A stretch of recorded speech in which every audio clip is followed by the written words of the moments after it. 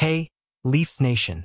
Welcome back to our channel for another exciting update on everything Toronto Maple Leafs. I'm thrilled to have you here as we delve into the latest news surrounding our team. So, let's jump right in. In a heartwarming moment at practice on Monday, Kalle Jarnkrok received a warm welcome from teammate William Nylander as he stepped back onto the ice. Jarnkrok, who's been sidelined since March 14th due to a hand injury, showed promising signs as he participated in parts of the team's practice session.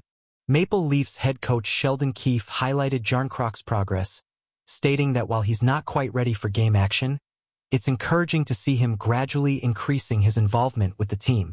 Unfortunately, with the regular season rapidly winding down and no full practice session scheduled until after Wednesday's game against the Tampa Bay Lightning, Jarnkrok's return before playoffs seems unlikely. But before we continue, if you're enjoying this update and want more Maple Leafs content delivered straight to your feed, make sure to subscribe to our channel and hit that notification bell. And hey, if you're liking what you're hearing so far, don't forget to give this video a thumbs up. It really helps us out. Jarnkrok's potential activation for the remaining regular season games presents a challenge for the Leafs. With Bobby McMann and Max Domi already sidelined, the team faces a shortage of available players. While Jarnkrok's return would bolster the lineup, the logistical hurdles of managing the salary cap and roster space add another layer of complexity.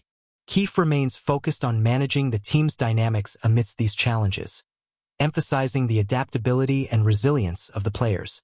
With the postseason looming, the priority is ensuring the team is primed and ready for the challenges ahead. And remember, Leafs Nation, we want to hear from you. Drop a comment below with your thoughts on Jarnkrok's potential return and how you think it could impact the team.